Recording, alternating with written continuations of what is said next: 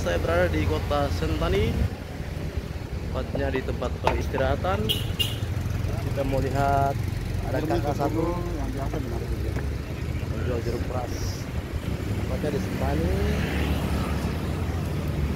Jeruk berkuah. Kakak kalau es jeruk original ini berapa nih harga? Tapi harga Ya, harga seperti biasa lima ribu. 5 ya? Kalau yang murni 10 ribu. Oh. Hampir semua sama. hampir semua sama ya? Ya, ya, harga harga semua sama, mungkin rasanya yang sedikit beda-beda. Oh iya Tergantung tangan saya kakak ya Ya, siap siap. Kakak nama siapa? Eh, saya nama Raymond, Lemon dari orang Yaukimo. Yokimo. Oh mantap, mantap. Terus Ya kalau yang mau ke Sentani bisa mungkin mampir di kakak kakak. Betul, mampir di sini baru. Iya. Rasakan.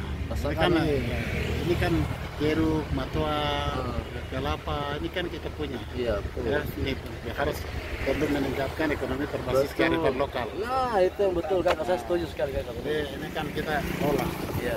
Itu diberi kemampuan tuh Iya. untuk mengolah. Raden tidak bisa kakak. ya? Ya, Terus kreatif, inovatif, sportif dan spirit. Benar. Untuk berbuat sesuatu. Ya, ya mau kalau kadang-kadang kan orang gengsi, Iya, gengsi. orang malu, orang malas, tapi makan di mana? makan di mana?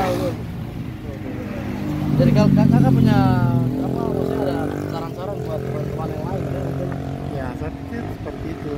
Saya pikir bisa eh, semua generasi muda khususnya untuk orang asli Papua supaya eh, tidak harus ini menonton, tapi ilmu yang mereka belajar di sekolah itu harus sinkronisasi dengan kemudian teknologi, kemudian untuk mengelola sumber daya alam yang ada terutama adalah ekonomi yang berbasis kearifan lokal seperti